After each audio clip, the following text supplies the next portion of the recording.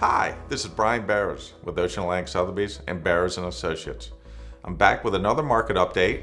Uh, the reason why it's taken so long is, as we predicted, we're really busy selling real estate the last few months.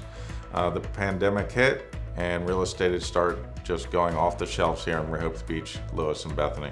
To put in perspective a little bit of data, closed property sales in August were up 38% from the five-year August average. That is significant. It's not like 2%. 38% is a huge jump. Uh, as you would imagine, new pending sales also are extremely high, above the five-year average. For instance, the five-year average is 620, and we are currently just under a thousand pending in the month of August. So 300 home increase, again, huge amount of demand. And that kind of goes into the supply of homes. So currently we have 2.7 months worth of inventory. What is considered a balanced market is between five and six months.